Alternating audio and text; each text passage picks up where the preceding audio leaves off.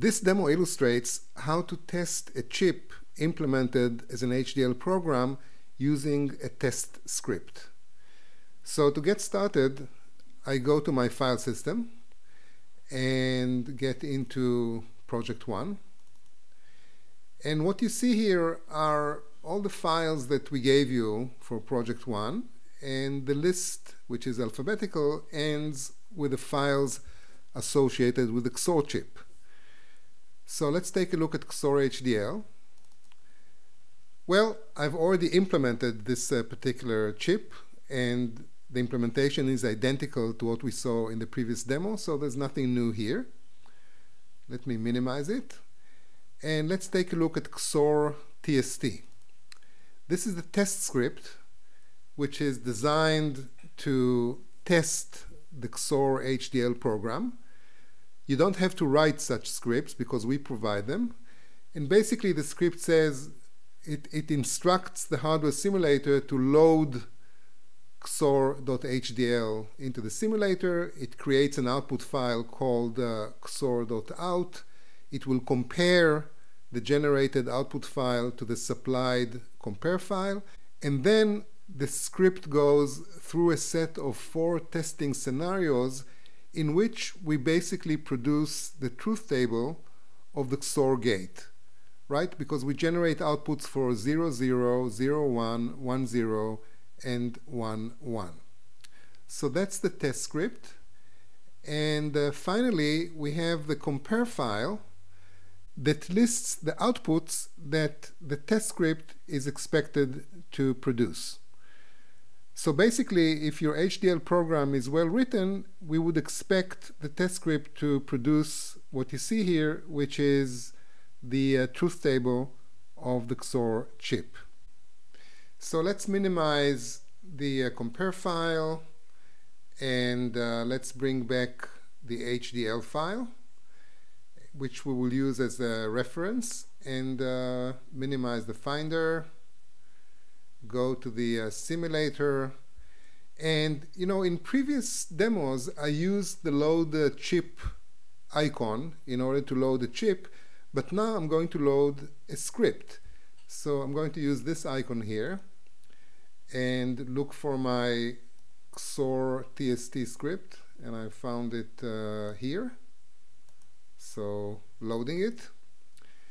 And what I see here is the same file that we saw before when we played with the, with the file system. And the yellow marker is a cursor that tells you that we are now positioned at the beginning of the first step of the test script. Actually, a test script consists of steps and microsteps. The microsteps end with a comma and the steps end with a semicolon. So when I click this uh, play icon here, several things will happen. First of all, I executed the first step or the first four microsteps which loaded the XOR HDL program into the simulator, created an output file, and instructed the simulator to compare the output file to the supplied xor.cmp file. And now we are ready to start the actual testing. So as you see, in the first step, the script sets the A input to 0, the B input to 0, it then evaluates the chip logic and then it creates an output line. So to execute this step, I click the play icon and each time I play click, I execute a bunch of micro steps up to the next semicolon. In other words, I execute a step and now we came to the end of uh, the script. One more click, just to be on the safe side. And I get this very nice message, end of script, comparison ended successfully. So that's one way to execute a script. Another way is to use the fast forward icon. So let me uh, illustrate it. I'm going to rewind the script and start afresh. And then if I click the fast forward, the script will actually execute automatically, so to speak, and we'll go through all the steps uh, one after the other. I know that the test ended successfully because I got this nice message, but if I want, I can also look at my output file. And here it is. It looks like indeed we managed to generate the truth table of XOR gate. I can also look at my compare file, which should be identical. Indeed it is. Go back to the output file. And another thing that I can do is uh, rewind the test script with the output file visible. See, when you do it, the output file becomes empty because I start now from scratch. And now I will play the fast forward uh, icon and you will see the output file being generated one test uh, step at a time.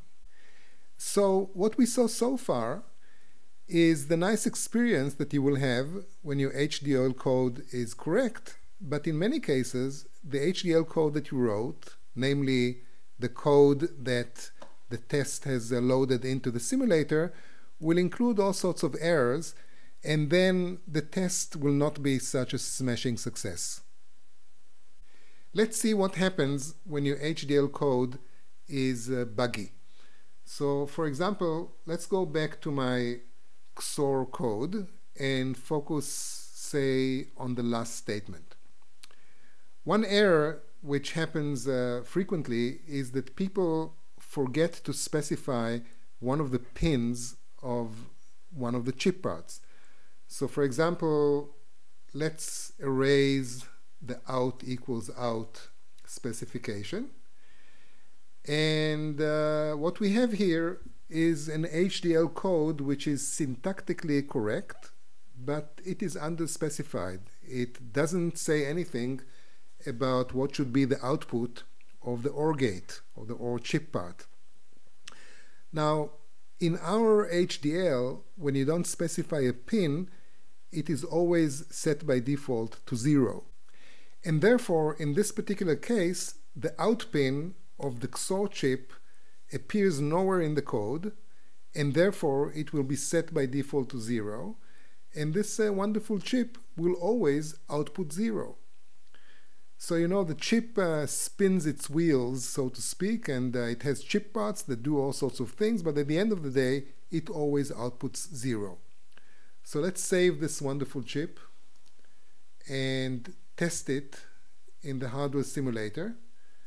So going back to look at my script and just to be on the safe side I'm going to reload the script.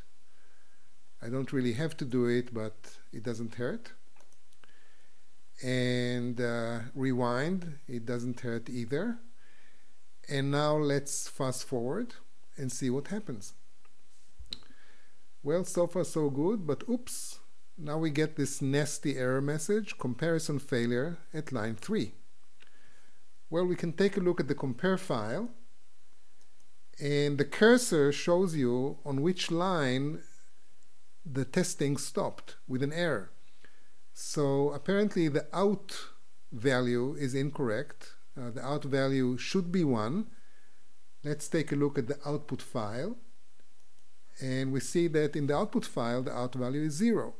So indeed we got um, a comparison uh, contradiction and the way the simulator works is that once you find the first error in the testing, the testing stops with an error message. So now you have to go back to your code, to the, X, uh, to the uh, HDL code, figure out what went wrong. If you're lucky, uh, you will find it uh, quickly and you know correct the error. Save the file. Go back to the simulator. Rewind. Rerun the testing. And uh, let's see what happens. Hallelujah. The test ended successfully. So this was a long demo but we covered a lot of ground, and I hope that it will help you when you will start working on your own HDL programs.